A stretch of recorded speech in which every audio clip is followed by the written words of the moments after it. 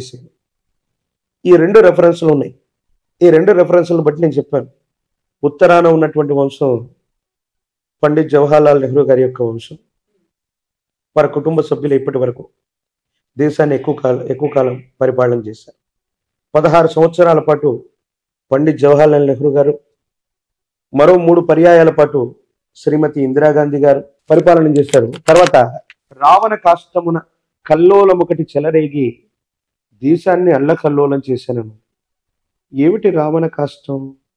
భారతదేశానికి పక్కనే ఉన్న రావణ కాష్టం అంటే శ్రీలంక. అక్కడ కల్లోలం ఎల్టీటీ ఉగ్రవాదులకి తమిళులకి మధ్యలో ఏదో సంఘర్షణ.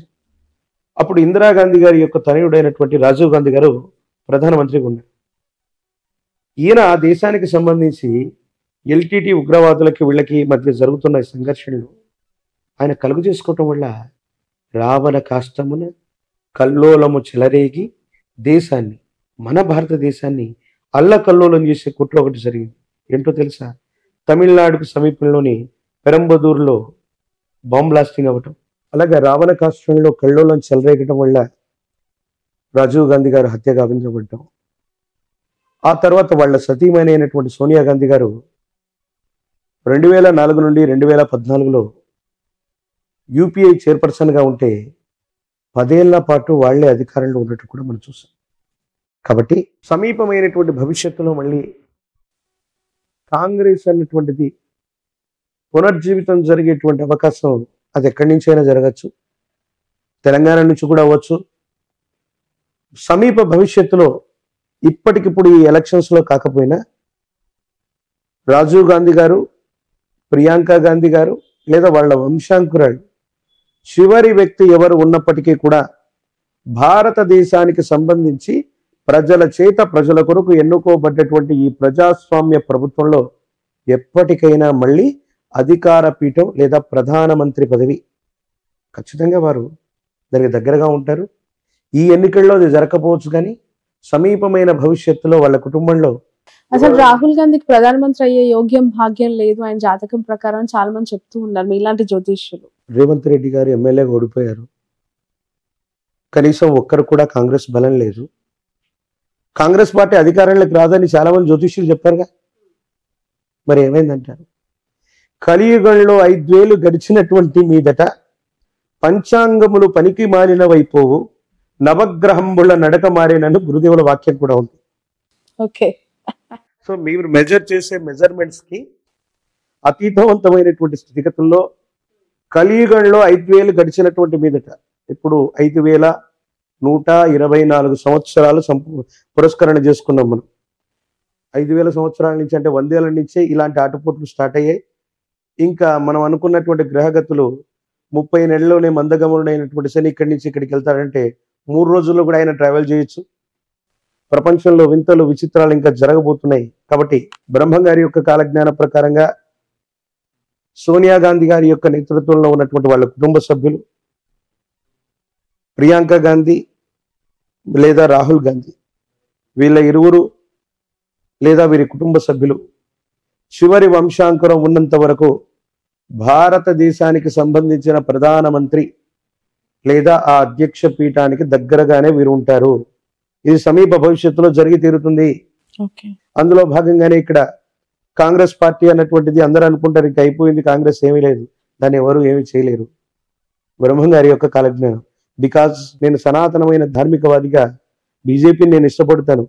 నేను కాంగ్రెస్ను పొగడట్లేదు. ఉన్నటువంటి వాస్తవికమైనటువంటి పరిస్థితులు అట్లాంటివి. కమింగ్ టు ఆంధ్రప్రదేశ్ జగన్మోహన్ రెడ్డి గారి యొక్క పేరు జగన్. గా నా అక్షరాల్ని సంయుక్త అక్షరాలు అంటారు. Hmm. వారి పేరులో కూడా రెండు అక్షరాలే ఉన్నాయి. అంటే జా తీసి ఓన్లీ గన్ అని పెట్టాలా? జగన్ గారికి? జగన్ అంటే గ అన్నటువంటిది. సంయుక్తము అంటే ఒక అక్షరంతో మరో సగం అక్షరం కలిసిపోతే దాన్ని సంయుక్తాక్షరం అంటారు తెలుగులో. సో జగన్మోహన్ రెడ్డి గారి యొక్క పేరులో కూడా ఒక రకంగా ఆ విధంగా తీసుకుంటే అవి రెండు అక్షరాల కిందే లెక్క. రాబోయేటువంటి శాసనసభ ఎన్నికల్లో ఆంధ్రప్రదేశ్కు సంబంధించినటువంటి ఎలక్షన్స్లో why not one seventy five అని జగన్మోహన్ రెడ్డి గారు ముందుకెళ్తూ ఉండొచ్చు దాకా కానీ మనం శోభకృతనామ సంవత్సరంలో ఉన్నాం. శోభకృతనామ సంవత్సరే సర్వసస్యాభివృద్ధయ నృపానాం మన్యోన్యం ప్రజానాంచ పరస్పరం ప్రజల చేత ప్రజల కొరకు ఎన్నుకోబడ్డటువంటి ప్రజా సంబంధమైన ప్రభుత్వాలు మాత్రమే ఈ శోభకృతు అనేటువంటి పేరు కలిగినటువంటి సంవత్సరాల్లో వస్తాయని శాస్త్రం. ఇక్కడ అదే జరిగింది. జగన్మోహన్ రెడ్డి గారు నూట డెబ్బై ఐదు స్థానాలు వన్ ఫిఫ్టీ వన్ ప్లస్ వాళ్ళు అనుకుంటున్నారు. తీవ్రమైనటువంటి ప్రజా వ్యతిరేక సంబంధమైన స్థితిగతుల వల్ల మళ్ళీ అధికారంలోకి రావటం అన్నటువంటి విషయం మీద వాళ్ళు దృష్టి పెట్టాలి. ఏ ప్రభుత్వం కూడా అంటే అది టీడీపీతో కూడినటువంటి ప్రభుత్వం కానీ వైసీపీతో కూడినటువంటి ప్రభుత్వం కానీ వెంటనే సులభమైనటువంటి మెజారిటీతో ఆంధ్రప్రదేశ్లో వచ్చేటువంటి అవకాశం లేదు. But first priority is Jaganmohan Reddy గారికి సంబంధించిన ఆరుద్ర నక్షత్రం కాలజ్ఞానానికి సంబంధించినటువంటి స్థితిగతులు దేశ కాలమాన పరిస్థితులను బట్టి చూస్తే ఆ ప్రభుత్వం బోటాబోటీ మెజారిటీ అంటే కనీస మెజారిటీతో కంటిన్యూ అవ్వటానికి కొన్ని ప్రత్యేకమైన ఎక్కువ అవకాశాలు ఉన్నాయి విపక్షాలుగా చెప్పుకోబడుతున్నటువంటివి జనసేనతో కూడినటువంటివి ఆయనది శ్రవణ నక్షత్రం పవన్ కళ్యాణ్ గారు సమీపమైన భవిష్యత్తులో తప్పకుండా అమాత్యుడు మంత్రి అది ముఖ్యమంత్రి అవ్వండి కేంద్ర మంత్రి అవ్వనివ్వండి అమాత్యుడు అన్నటువంటి స్థానానికి దగ్గరగా ఆయన జాతకం ఉండబోతుంది. తెర మీద బొమ్మలు గద్దెనెక్కారన్నటువంటి గురుదేవుల యొక్క వాక్య సాక్షిగా పవన్ కళ్యాణ్ గారు సమీపమైన భవిష్యత్తులో అది ఈ ఐదు సంవత్సరాల్లో కూడా అయి ఉండొచ్చు. ఈ రాబోయేటువంటి ఐదు సంవత్సరాల్లో కూడా అయి ఉండొచ్చు. ఖచ్చితంగా వారు ముఖ్యమంత్రి లేదా ఆ స్థానానికి దగ్గరగా ఉన్న అమాత్యుడు ఆ స్థానాన్ని అధిరోహించేటువంటి అవకాశం కూడా తప్పకుండా ఉంది. మొదటి ప్రాముఖ్యతగా వైఎస్ జగన్మోహన్ రెడ్డి గారి యొక్క నేతృత్వంలో ఉన్నటువంటి వైసీపీ ప్రభుత్వం బోటాబోటీ మెజారిటీతోనైనా మళ్ళీ అధికారంలోకి రావటానికి కొంత ఎక్కువ అవకాశాలు ఉన్నాయి. అవకాశాలు జగన్ ఉన్నాయంటున్నారు. పవన్ కళ్యాణ్ గారికి కూడా లేకపోలేదు అంటున్నారు. ఎలా అవును. సాధ్యం అవుతుంది వైసీపీ ప్రభుత్వం వస్తుంది.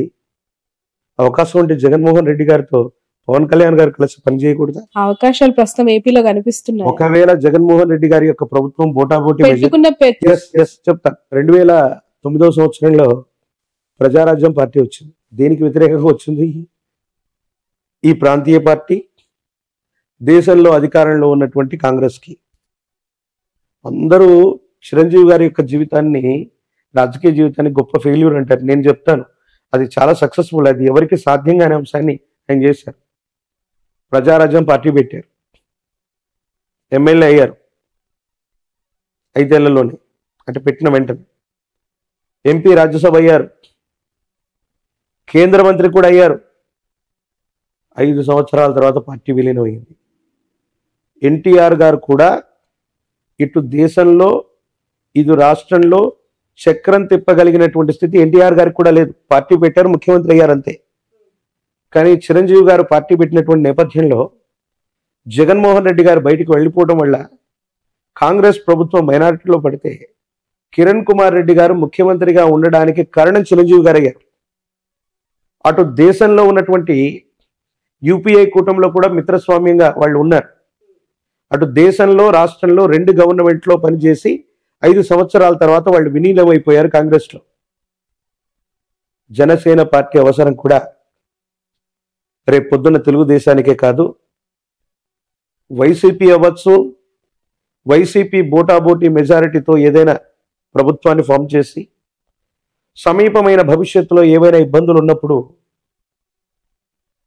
అది పవన్ కళ్యాణ్ గారికి సంబంధించిన పార్టీకి సంబంధించిన ఎమ్మెల్యేలతో ఇప్పుడు జనసేన ఎమ్మెల్యే వైసీపీతోనే కలిసి ఉన్నాడుగా నూట యాభై ఒక్క మంది ఎమ్మెల్యేలు వైసీపీ వాళ్ళు అవుతే ఆ plus one two three four ఫైవ్లో మొట్టమొదటి జనసేన ఎమ్మెల్యే కూడా వీరితోనే కలుస్తున్నారు. శాశ్వతమైన శత్రువులు మిత్రులు రాజకీయాల్లో లేరంటూ ఉంటారు. ఈసారి వైసీపీ ప్రభుత్వం ఒకవేళ వ్యవస్థీకృతమై గవర్నమెంట్ని ఫామ్ చేసిన ఐదు సంవత్సరాల్లోపు ఏదైనా అస్థిరమైనటువంటి ప్రభుత్వం ఏర్పడితే పవన్ కళ్యాణ్ గారి యొక్క నేతృత్వంలోని జనసేన కూడా భాగస్వామ్యం అవ్వచ్చు. లేదా వీటన్నిటికీ కూడా సమీప భవిష్యత్తులో ఆల్టర్నేట్గా ఉండి జనసేన సొంతంగా అవకాశం అంటే మళ్ళీ రాబోయే ఐదు సంవత్సరాల కట్టుగా సొంతంగా వాళ్ళకు వాళ్ళుగా ప్రభుత్వాన్ని ఏర్పాటు చేయగలిగిన స్థితి కూడా ఖచ్చితంగా ఉంది. ఖచ్చితంగా పవన్ కళ్యాణ్ గారు జీవితకాలంలో జీవితకాలం అంటే మళ్ళీ ఎక్కువ వెళ్ళనుకోలేరు ఐదు సంవత్సరాల కాలానికి అటు ఇటుగా చాలా మంది ఆయన జాతకం గురించి ఏదో చెప్తున్నారు. ఒక్క రోజైనా ఒక్క క్షణమైనా ముఖ్యమంత్రి ఐ మీన్ ఆ అమాత్యుడు అన్నటువంటి ఆ స్థానంలో ఖచ్చితంగా కూర్చునే అవకాశం కనబడుతుంది. ఓకే. రైట్.